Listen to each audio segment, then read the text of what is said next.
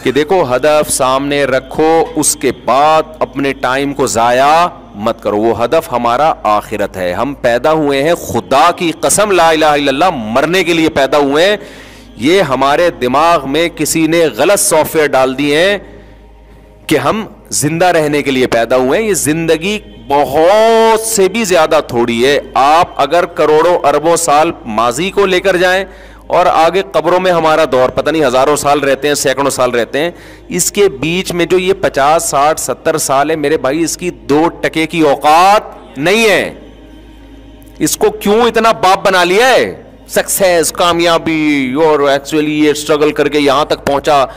जहाँ मर्ज़ी पहुँच जाए, भाई, तू थोड़े दिनों में कहा आने वाला है? कब्र में आने वाला। थोड़े दिनों को पता भी नहीं है कब आएगा। क्यों वो इतना बाप बना लिया इसको? सेहत मुसलत होती है तो सेहत मुसलत हो जाती है। दौलत मुसलत होती है तो दौलत मुसलत हो जाती है। शोहरत और इज़्ज़त की चाहत मुसलत होती है तो वो मुसलत हो जाती है। मशहूर होने का शौक। पागल वाली हरकतें कर रहा होता है मशहूर होने के लिए। ऐसे भी यूट्यूब में आप पे लोग मिलेंगे। मशहूर होने का बहुत शौक है। समझ में नहीं आ रहा कैसे हो जाए हम। अरे यार, मशहूर होके क्या होगा? थोड़े दिन में मर जाओगे। जितना भी मशहूर हो ना, जनाजा पढ़ने के बाद, दो चार दिन याद करते हैं, उसके बाद भूल जाते तुम अपने बाप को लोग याद नहीं रखते। तो मशहूर आदमी को कहाँ से कहाँ से याद रखेंगे? इतने बड़े बड़े मशहूर लोग पैदा हुए। और ऐसे ऐसे मशहूर लोग दुनिया में पैदा हुए हैं ना, कि उनके पे लोगों ने जाने दिए हैं। जाने दिए हैं। जब उनका किस्सा खत्म हुआ तो मार्केट से उनकी शोहरत भी खत्म। और मरने के बाद मशहूर होने का फ़ायदा भी क्या है? मशहूर अगर आप दुनिया में हो गए तो आपको क्या फ़ायदा उससे? फिर इतना मशहूर आदमी है ना। यहूदी भी जानते हैं, ईसाई भी जानते हैं, मुसलमान भी जानते हैं। ये तीन कौमें तो बहुत अच्छी तरह से जानती हैं। बाकी हिंदू भी जानते हैं हमसे सुन के, सिख भी जानते हैं हमसे सुन के। मेरा ख्याल है दुनिया में चार पाँच आदमियों के अलावा सब जानते हैं फिर को। तो क्या हुआ भाई? फिर कहता होगा यार मैं किसी झोंपड़े में रहता किसी जगह में चौकीदारी करके ज़िंदगी गुजारता खुदा की कसम ज़्यादा अच्छा होता। फिर तो समझ रहा होगा स्ट्रगल और मेहनत करके मैं मिस्र का बादशाह बना और वाह ये होता है एक्चुअली इसको इस, असल में स्ट्रगल की है मेहनत की है मेरी बचपन से मेरी माँ का मेरे सर पे हाथ था और जहाँ भी मैं गया मेरी बीवी मेरे साथ खड़ी हुई थी। हर कामयाब आदमी के पीछे एक बीवी का हाथ होता है। तो चार बीवियों का हाथ हो जाए तो सोचो कहाँ पहुंचेगा वो। तो तो स्ट्रगल होते होते मैं यहाँ तक पहुँचा। फिर से कोई जा, जाके पूछे तो फिर कहेगा काश मेरी किस्मत में होता मैं खरीदता एक खोता। बस एक मेरा गधा होता और कुछ ना होता। कभी तू सवार होता कभी मैं सवार होता बस हँसी खुशी ज़िंदगी गुजर जाती, मुझे दुनिया में कोई ना पहचानता। ये जो आज चित्रौल लग रहे हैं, अन्नार ये आशिया कुरान कहता है, आग है जिसमें सुबह भी जलाया जा रहा है और शाम को भी। वयमतकोमसा और जिस दिन क़्यामत कायम होगी, अदखिलो आला फ़िरौन अशद अजाब। कहा जाएगा, इससे भी ज़्यादा सख्त अजाब में फ़िरौन को दाखिल कर दो।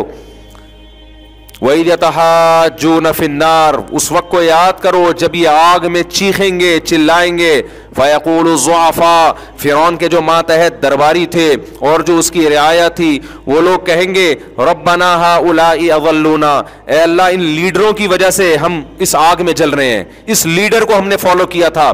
फ़ातिम मिनन फ़ातिम अजाबन ज़ैफ़म मिनन्नार अल्लाह, इसको दुगना अजाब दे। कालिकुल्लिन अल्लाह कहेगा, इसको भी, तुम्हें भी पूरा पूरा अजाब मिलेगा। इसलिए कि इसकी दावत पर तुमने दिल से लब्बैक कहा है। मजबूर होके लब्बैक नहीं कहा तुमने। मजबूरी के हकाम तो यह है कि वकाल रजुलमिन आल फ़िरौन यकतुबु ईमान हो फ़िरौन ही के दरबार में एक शख्स मुसलमान हो गया था। मजबूर था, ईमान को छुपा लिया था उसने। उसको अल्लाह नहीं जहन्नम में डालेंगे। कोई गैर मुस्लिम कहता है, मेरे माँ बाप काफिर हैं तो मैं मजबूरन काफिर हूँ, मैं इस्लाम छोड़ नहीं, मैं इस्लाम कबूल नहीं कर सकता, मुझे मार देंगे। भाई, इस्लाम ने ऑप्शन दिया, छुप के मुसलमान हो जाओ। कितना बड़ा ऑप्शन दिया इस्लाम ने।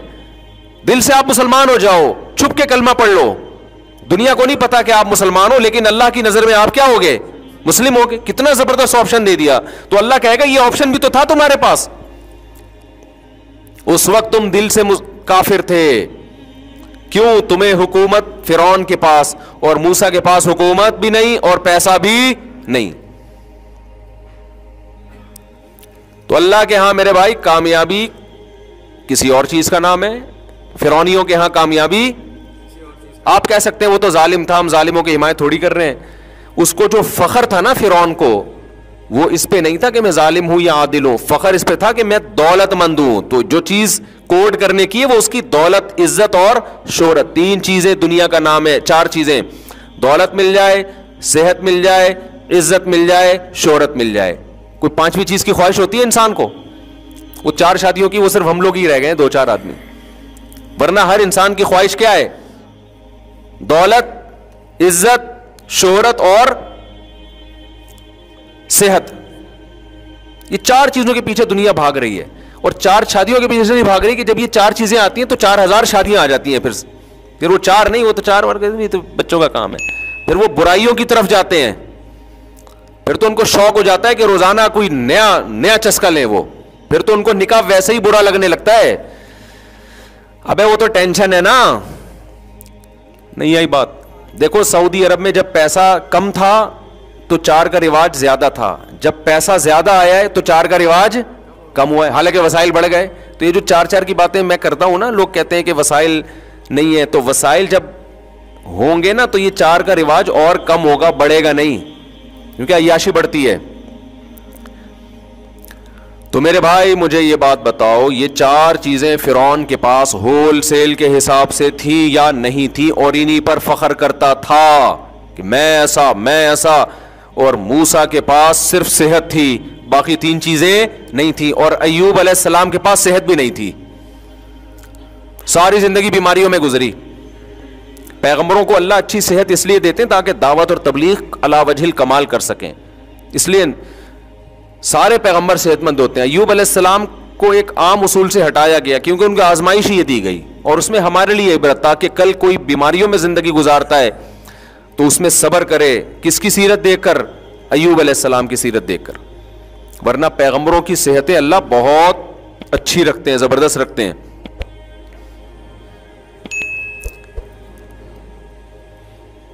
आपका हदफ जब मेरे भाई आखिरत होगा तो फिर आपके लिए इस दुनिया की हैसियत दो टके की नहीं रहेगी। मिल जाए, बहुत अच्छी बात है, नहीं मिले, सबर। आज जितने डिप्रेशन के मरीज़, आपको स्ट्रेस के मरीज़ दुनिया में नज़र आएँगे। सारे इन चार में से किसी एक चीज़ की कमी की वजह से एहसास कमतरी का शिकार होंगे। हाय, ये उसके साथ ये हो गया। हाय, मुझे पास तो कुछ भी नहीं है। हाय, मेरे पास तो कुछ भी नहीं है। हाय, मेरे पास तो कुछ भी नहीं है। हाय, मैं तो गरीब हूँ। हाय, मैं तो बी से बेगैरत हूँ। हाय, मैं तो फलाना हूँ। हाय, मैं तो यूँ। ये टेंशन होते होते उसके दिमाग को क्या कर देती है? ख़राब।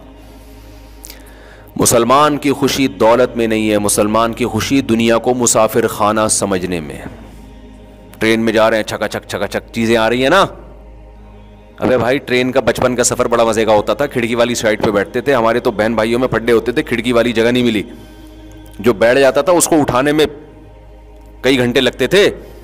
उसको घसीटते थे हम, उठ भाई, मैं बैठूँगा। तो उसमें क्या है, सफ़र में इंजॉय करता है ना आदमी। आज ये आ रहा है, फिर वो दरिया आ रहा है डगडम डबडम जो नहीं, पुल पे से गुजरती। उसका अलग, मिट्टी के घर आ रहे हैं, गाय, भैंसे, दुम हिलाती आ रही हैं, फिर शहरों में दाखिल। तो ये बड़ा एक क्या होता है इससे? सफ़र को बस इतना ही इंजॉय कर सकता है आदमी। इससे ज़्यादा सफ़र को लिफ्ट कराएँगे तो टेंशन बढ़ेगी। आपने मज़ीद लिफ्ट कराया कि खिड़की इतनी अच्छी सीट इतनी अच्छी तो मैं यहीं बैठूँगा। क्या ये मुझसे छूट जाएगी? ये टेंशन है भाई? ये भी टेंशन वो देखो, उस वाले डब्बे में, वो बोगी में वो बर्गर खा रहा है और हमारे, हमें अभी तक बर्गर नहीं मिला। वो भाई, मंजिल का सोच के हम तो चूँकि नानी के घर जाते थे ना कराची से हम जून जुलाई की छुट्टियों में नानी के घर जाते थे सरगोदा। हमें खुशी इसकी नहीं होती थी कि ये वाली इस, इसकी भी होती थी इतनी ज़्यादा नहीं। ज़्यादा खुशी इसकी होती थी कहाँ पहुँचने वाले हैं? नानी के घर। खुला खाएँगे तो नंगा नहाएँगे।